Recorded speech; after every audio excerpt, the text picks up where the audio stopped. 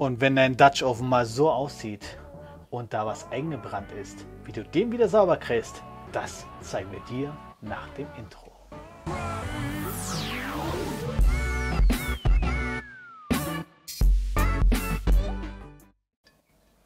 Okay, fertig, hör mal auf.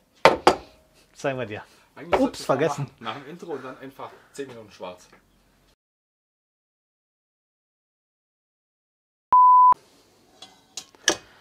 Also, wie gesagt, wenn ein Dutch Oven so aussieht, dann tust du den einfach weg und tust einen neuen her. So einfach ist es. Also, wenn ein Dutch Oven mal so aussieht, dann hast du natürlich ein kleines, mittelschweres Problem. Aber du kannst es natürlich super selber einfach sauber machen. Und zwar haben wir jetzt hier wirklich Kartoffeln anbacken lassen. Heute Mittag hier im Dutch Oven. Und guck, da hast du jetzt so richtig den Ranz drin und da ist alles angebacken. Angebacken.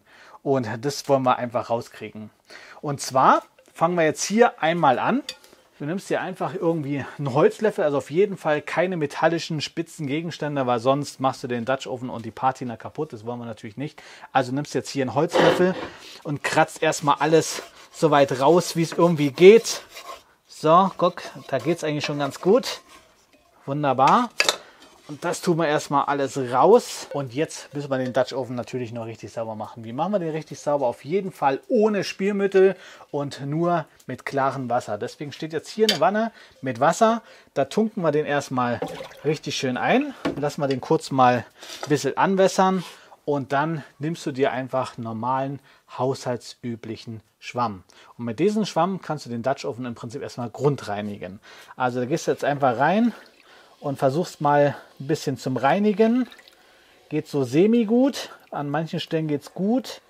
Da nicht so richtig. Wenn es nicht so richtig funktioniert, dann kannst du hier super wunderbar so diesen Ringreiniger nehmen. Äh, den gibt es für relativ wenig Geld zu kaufen. Ist aus Edelstahl, greift auch die Patina und den Dutch Oven nicht an. Und damit kannst du richtig gut rumrubbeln im Dutch Oven. Und damit kriegst du alles richtig schön wunderbar sauber. Und wenn du die festen Bestandteile alle raus hast, nimmst du nochmal deinen Schwamm und gehst nochmal richtig schön drüber über den Dutch Oven. Jetzt gießen wir den einmal aus. Guck mal, da kommt der ganze Ranz raus. Und denke ich, so soll den Dutch Oven nach der Reinigung grundsätzlich aussehen. Was aber tun, wenn wir einfach noch mehr stärkere Verkrustungen haben, die so richtig fest angebacken sind, weil du es einfach verpennt hast, ähm, die Unterhitze wegzunehmen. Da war richtig viel. Dann hast du ein, zwei Bier mehr getrunken und festgestellt, Mist, mein Schichtfleisch ist richtig angebacken. Da hilft nur eins, du musst auf jeden Fall das Ganze ein bisschen einwirken lassen. Du kannst es natürlich mit Wasser einfach einweichen lassen, aber als richtig gute Hilfe dazu nimmst du dir einfach ganz stinknormales Backpulver. Also Wasser quasi im Dutch Oven rein, eine Packung Backpulver oben mit dazu und dann fängt es nämlich gleich schon an, so richtig zum Arbeiten. Das Ganze haben wir jetzt hier schon mal vorbereitet. Also jetzt haben wir hier den Deckel von dem Dutch Oven genauso anbacken lassen und den habe ich dann gleich mit ein bisschen Wasser und Backpulver einweichen lassen. Das stand jetzt hier, ich glaube, drei Stunden ungefähr. Reicht auf jeden Fall aus für richtig hartnäckige Verschmutzungen. Und den stelle ich jetzt mal rüber und dann wirst du sehen, jetzt nehme ich nur den ganz normalen Schwamm und nichts anderes. Also da ist kein äh, chemisches Mittel drin oder sonst irgendwas, sondern nur Wasser und Backpulver. Und wenn ich da jetzt einmal rübergehe, schau dir das mal an. Guck, das geht super, super gut weg. Und da musst du nicht mal wirklich mit einem Ringreiniger ran oder so.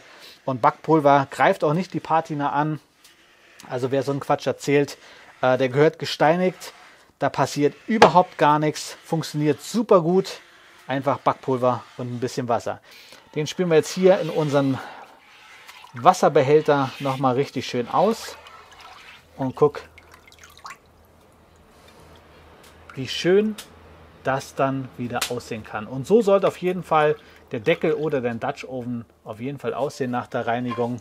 Und dann kriegst du wirklich alles wunderbar sauber. Also nimm keine aggressiven Reiniger, nimm keine Spülmittel, nimm keine chemischen Reiniger, sonst irgendwas, einfach nur Wasser, ein bisschen einwirken lassen und wenn die Verschmutzungen richtig grob und hartnäckig sind, dann nimmst du einfach noch ein bisschen Backpapier dazu, äh, nicht Backpapier, Backpulver dazu und dann halt einen haushaltsüblichen Schwamm. Und wenn es ein bisschen härter sein muss, wie beim Ritter, sein Hemd. Also so ein Ringreiniger, eine ganz tolle Anschaffung, kostet nicht viel Geld, was weiß ich, keine Ahnung. Wir verlinken es euch auf jeden Fall unter dem Video nochmal.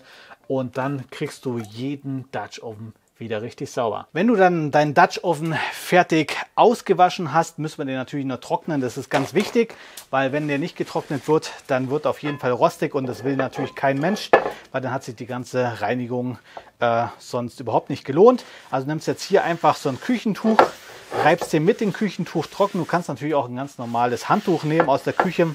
Ich glaube aber, da hat dein Partner auf jeden Fall was dagegen. Ähm, weil es könnte sein, dass es einfach ein bisschen schwarz wird. Sieht man richtig gut am Küchentuch. Deswegen nimm auf jeden Fall einfach ein haushaltsübliches Küchentuch und mach den überall richtig trocken. Das machst du beim Deckel und beim Dopf auf jeden Fall. Ich hoffe, dir hat das Video gefallen.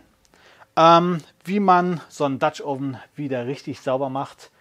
Überhaupt gar kein Hexenwerk, geht relativ schnell und relativ einfach.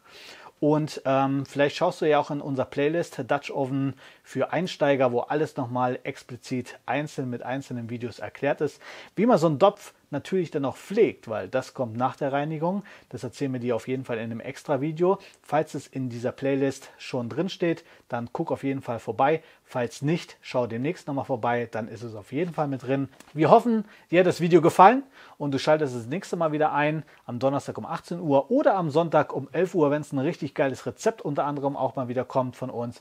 Und wir bedanken uns fürs Zuschauen und wir sind raus.